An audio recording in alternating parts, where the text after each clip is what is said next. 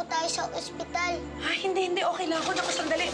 Ito mga karne, kailangan ma-deliver to. Hindi pwedeng maiwan sa atin to. Nay, Masisira. huwag na po kayo masyado gumalaw. Ako na po magdi-deliver. Sige. Lagay mo yan dyan sa loob. Andrew, pwede samahan na rin kita. O, ito Ka. mga listahan, ha? Sige. Opo, salamat. ka, anak. Opo, ika na, Andrew. Ano? Akay po ba si Aling Femi? Ako nga. Ito na po yung pinadeliver ng karne. Salamat. Saan mo kinukuha to? Ang mura. Pwede mo ba akong dalhan uli ng limang kilo? Birthday kasi nung anak ko magpaparty pa. Opo, kahit ilan. Sige, pag nadala mo ngayong araw, bibigyan kita ng tip. Sige po. Sige. Wow, mami. Andrew, halika na. Ituloy na natin ang paghahanap sa mami ko. Teka lang, Momay. Kailangan ko muna mag-deliver. Kukuha muna ako ng kami sa supplier ni nanay. Sabi niya, malapit yung meat shop dito. Sige na nga. Pero promise mo sa akin, pagkatapos mo doon, hahanapin na natin ang mami ko. Sige, halika na. Ano?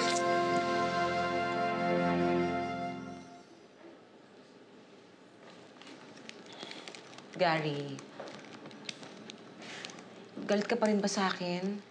Baby, pagpasensyahan mo na ang mami. Ang Dami ko lang talagang problema ngayon. Ma, ang hindi ko lang maintindihan, bakit kinakampihan niyo si Justin? Baby, hayaan mo na ang mami. Eh, para naman to sa ikabubuti nating lahat eh. Anong ibig niyo sabihin, Ma? Magtiwala ka lang sa akin, baby. May tinatago ba kayo sa akin, Ma?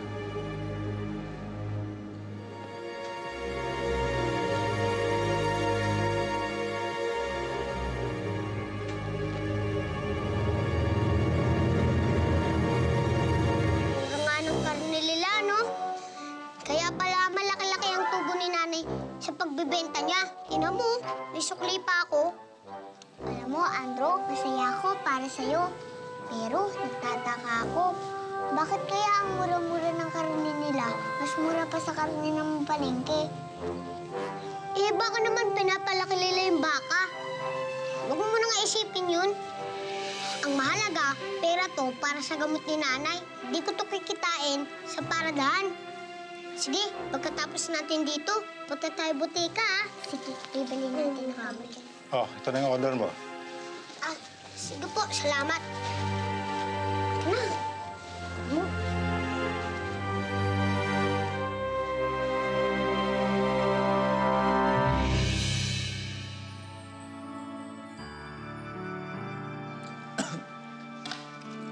Hello, Ate Mamay.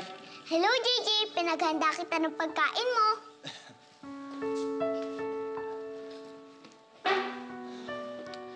Mo, Ate Mamay, ang sarap pala pumasok sa school, no? Kahit nakakapagod, ang dami ko namang natututunan. Oo nga, JJ, no?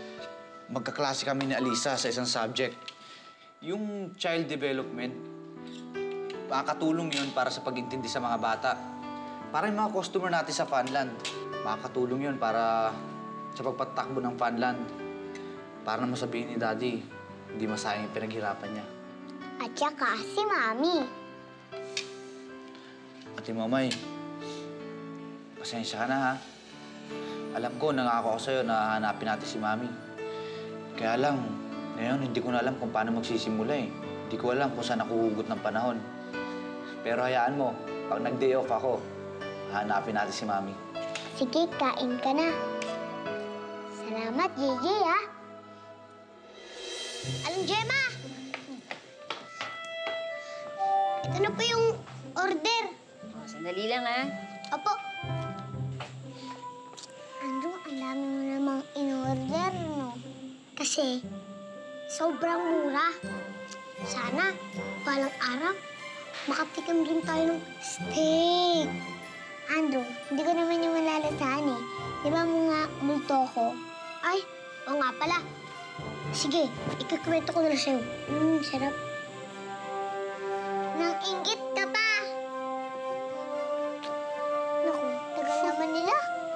Siguro nakalimutan na nila na andito tayo. Ay, kala ko sila. Eh, kung pumasok na lang kaya tayo. Huwag na. Pagalito pa tayo eh. Anong gusto mo? Ako na lang pumasok. Eh, paano mo naman siya na? Hindi ko alam. Eh, tsaka ko na lang iisipin yun. Ay, naku. Sana na. Lang ha. Uy, marami-raming karne tayo mabebenta. Nagka-epidemya kasi doon sa rancho, kaya't maraming bakang nagkasakit. O, mababawi na rin natin itong mga nalulugi natin dito sa meat shop. Kailan ba ito namatay? Kagabi lang naman. Oh boys, bis-bilisan nyo ha. Kailangan mag-dispatch na natin kaagad yan ha, baka mga moy. Isa pa, mag-ingat tayo sa mga otoridad. Baka malaman lang, bebenta tayo ng double din na karne. Double Patay kang baka ka! Andrew, halika na! May bad silang ginagawa dito! Anong bad? Yung mga baka nila tinitinda, patay na! We, syempre patay na! Alam naman, buhay pa yung binibenta ko. Hindi yun ang ibig kong sabihin. Kaya namatay yung bakang yun dahil sa sakit. Malay mo yung makakain nun, mamatay o kaya magkasakit. Lagot ka.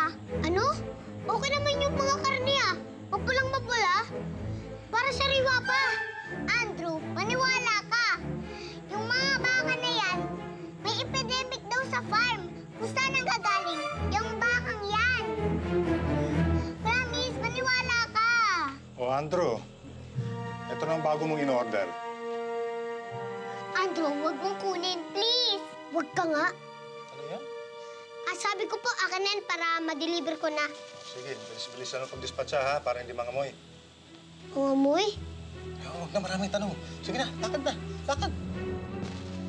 Andrew! Ay, Kamusta naman yung quiz mo? Okay naman. Buti nga, nasagutan ko lahat eh. Sabi ka na nga ba eh, kayang-kaya mo yan. Sali ka sa group study namin ah. Oo ba? Salamat, Alisa. Sige, pupunta ako. Alisa! Justin! Kinakausap mo kami ni Justin? Oo naman, Alisa, we're friends. And friends argue. Wala na sa akin yun. So, join us? Justin, gusto mo ba sumama mag-lunch? Um, KKB ba yan? Justin, sumama ka na. Sumama ka na sa amin mag-lunch. Sige, tara.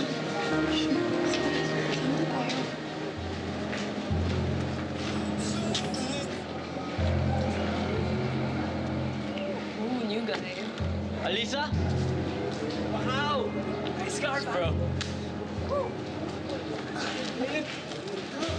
Gary, anong ginagawa mo dito? Dito ka nag-aaral? Pati si Justin? Alisa, you know him? I'm Stephanie, best friend ni Alisa. Nice Hi, to meet I'm Gary. Boss ako ni Alisa sa Funland. Alisa, di mo naman sinabi na cute pala tong boss mo eh. How about lunch? Of course, my treat. Sure, sure. Sige, kayo na lang. Alisa, ka naman nakakasama sa barkada. Sumama ka na. Ah, Justin, gusto mo sumama ka na? Sagot ko naman eh. Um, sige, wag na. May gagawin pa ako eh. Sige, Alisa, sumama ka na sa nila. Sigurado ka? Oo naman.